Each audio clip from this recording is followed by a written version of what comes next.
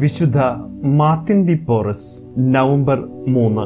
സുന്ദരിയായ റോസ പുണ്യവതി ജനിച്ച സുന്ദരമായ ലീമ നഗരത്തിലാണ് ഈ നെയ്ഗ്രോ പുണ്യവാളിന്റെയും ജനനം. ജ്ഞാനസ്നാന സർട്ടിഫിക്കറ്റ് വായിക്കേണ്ടത് തന്നെ ആയിരത്തി അഞ്ഞൂറ്റി എഴുപത്തി ഒൻപത് നവംബർ ഒൻപതാം തീയതി ബുധനാഴ്ച ഞാൻ മാർട്ടിനെ ജ്ഞാനസ്നാനപ്പെടുത്തി പിതാവ് അജ്ഞാതനാണ്. അമ്മ അന്ന വെലസ്കസ് ഹോരയാണ്. ജ്ഞാനസ്നാന പിതാക്കന്മാർ ജുവാൻ ഡി ബ്രിവിയസ്കായും അന്ന ഡെ യത്കാസെയുമാണ് എന്ന് ഇടവക വികാരി ഡോൺ ജുവാൻ അന്റോണിയോ ഒളാങ്കോ. അദ്ദേഹത്തിന്റെ പിതാവ് അജ്ഞാതനൊന്നും അല്ലായിരുന്നു.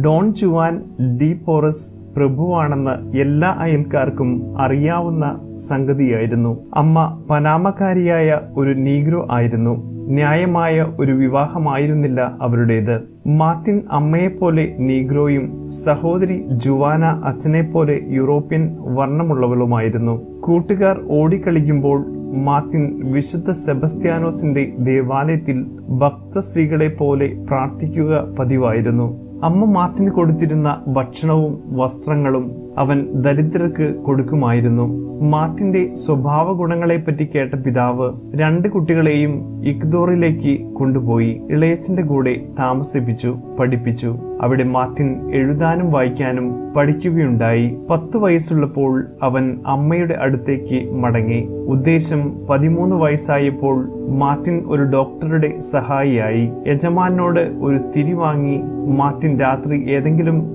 സദ്ഗ്രന്ഥം വായിച്ചിരുന്നു. ആശുപത്രിയിൽ എല്ലാവർക്കും നല്ല സേവനം നൽകണമെന്ന ഒരാഗ്രഹം മാത്രമേ മാർട്ടിൻ ഉണ്ടായിരുന്നുള്ളൂ പതിനഞ്ച് വയസ്സുള്ളപ്പോൾ മാർട്ടിൻ ഡൊമിനിക്കൻ സഭയിൽ ഒരു ആത്മായ സഹോദരനായി ചേർന്ന് അങ്ങേറ്റം സ്നേഹത്തോടും ത്യാഗത്തോടും കൂടെ രോഗികളെ ശുശ്രൂഷിച്ചു വന്നു. മാർട്ടിന്റെ ഉപവിയും എളിമയും പ്രാർത്ഥനയിലുള്ള തീഷ്ണതയും കണ്ട് ഒമ്പത് വർഷം കഴിഞ്ഞപ്പോൾ അദ്ദേഹത്തെ സന്യാസ സഹോദരനായി വ്രതവാഗ്ദാനം ചെയ്യാൻ അനുവദിച്ചു. പല രാത്രികളിലും പ്രാർത്ഥനയിലും പ്രാശ്ചിത്യത്തിലുമാണ് അദ്ദേഹം ചെലവഴിച്ചിരുന്നത്. പകൽ രോഗികളെ വർണഭേദം കൂടാതെ ശ്രദ്ധാപൂർവം ശുശ്രൂഷിച്ചുകൊണ്ടിരുന്നു. ആഫ്രിക്കയിൽ നിന്ന് വന്ന അടിമകൾക്കായി ഒരു അനാഥശാല അദ്ദേഹം സ്ഥാപിച്ചു. ആഴ്ചതോറും വളരെ വലിയ തുകകൾ സംഭാവനകൾ സ്വീകരിച്ച് ദാനധർമ്മം ചെയ്യാൻ അദ്ദേഹത്തിന് കഴിഞ്ഞിരുന്നു. പുതപ്പോ മെഴുകുതിരിയോ കുപ്പായമോ ഭക്ഷണമോ ആവശ്യമുള്ളവർക്കൊക്കെ അദ്ദേഹം കൊടുത്തിരുന്നു. ഉഭവിയുടെ മാർട്ടിൻ എന്നാണ് ജനങ്ങൾ അദ്ദേഹത്തെ വിളിച്ചിരുന്നത്.